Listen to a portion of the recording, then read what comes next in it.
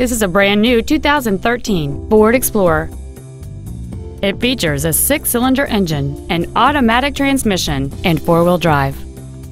Its top features include a low tire pressure indicator, XM satellite radio, big 18-inch wheels, and traction control and stability control systems.